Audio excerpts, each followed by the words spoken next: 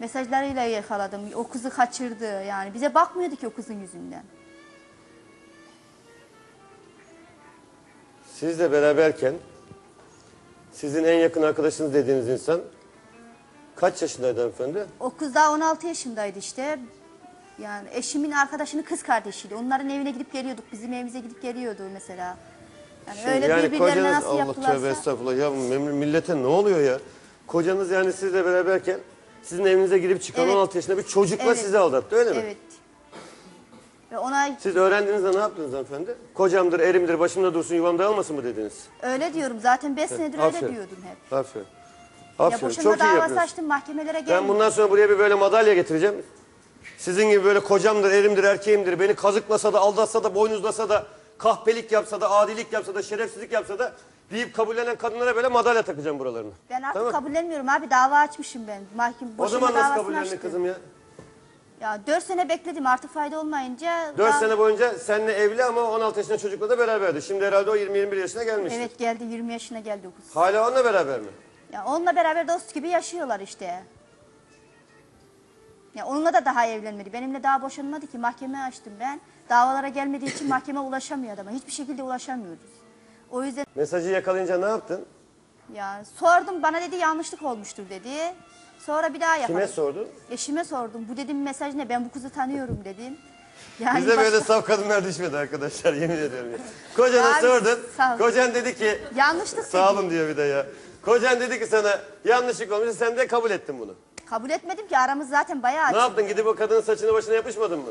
Yapıştık, evine gittim, her şeyi yaptık. Ne Ama yaptın? hiç Ne yaptın yani? evine gittim, yani annesiyle babasıyla konuştuk. Yani bayağı bir şeyler yaptık, hiçbir şey başaramadık yani. Kız ayrılmadı. Kız bir de Kocanda suç yok zaten. Erkekler zaten suçsuz. Kız o bırakmadı. suçlu zaten. O Değil mi? Kız mesaj attı. Kız ayrılmadı. ya kızda da akıl hiç yok abi. Kızda akıl olsa zaten evli barklı bir adama Bak kocan soruyormuş beni affeder mi diye. Soruyorum. İstemiyorum zaten onu. Sormasın. Söylüyorlar kulaklıktan. Kocan soruyormuş beni affeder mi diye. Ben dava açtım. O kadar para harcadım yani. Boşanacağım ondan. Boşanmayı bekliyorum. Para harcamasan boşamayacaktın yani. ya abi. Yarabbim ya Resulallah. Peki Ya- şimdi senin kocanla ilgili bir haber geldi.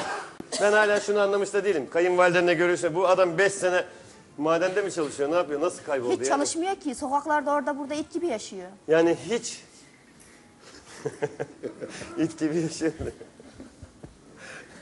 Çok ilginç. Bir tanesi kocasını arıyor, birisi de karısını arıyor yanında oturan da. Dün, dün buradaydılar.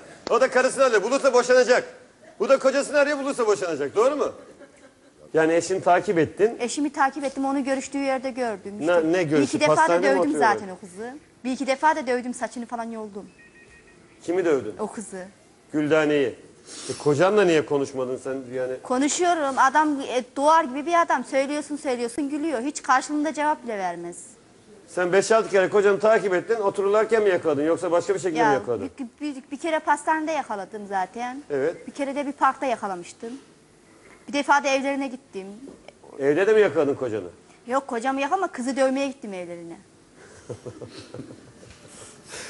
Nasıl dövdüğünü anlamadım ya. Bayağı saçma şey oldu.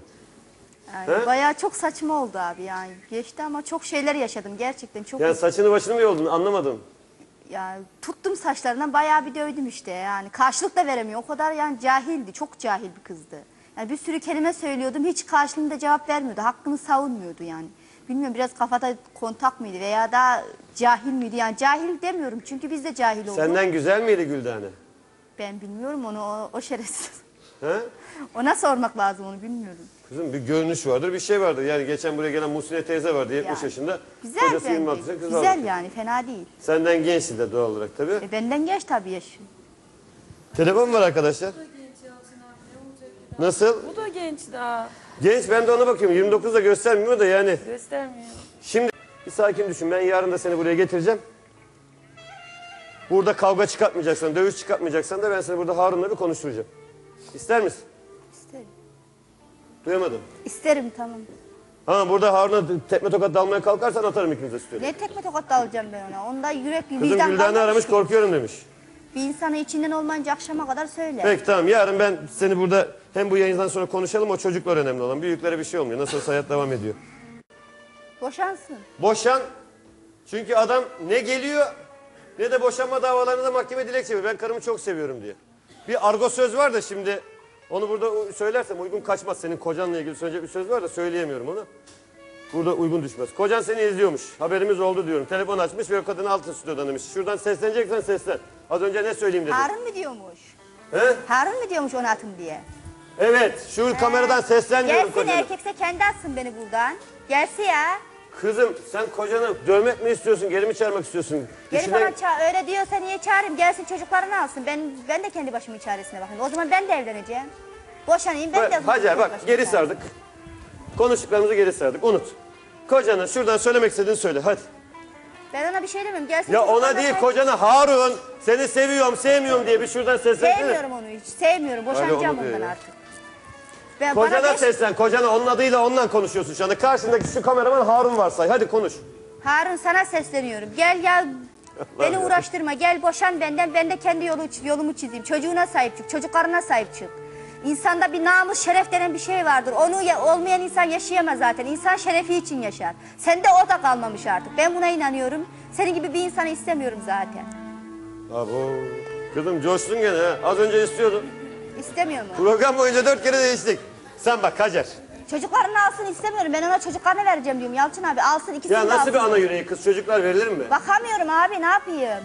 Çocuğumu evde bıraktım da geldim. Tamam. Çocuğum-